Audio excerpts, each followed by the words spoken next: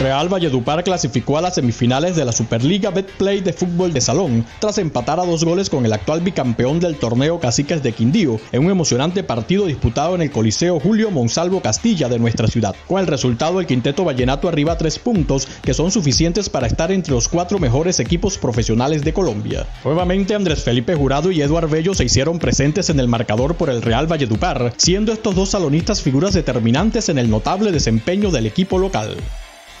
Hagamos la entrega, la verdad es que los muchachos, los muchachos de aquí, nosotros que somos de afuera, venimos entrenando muy bien y siempre en cada partido, cada vez que entramos al campo, es lo que hablamos, ¿no? Que en casa hay que meter, en casa hay que meter huevo y hay que entregar y hay que dejar el 200%.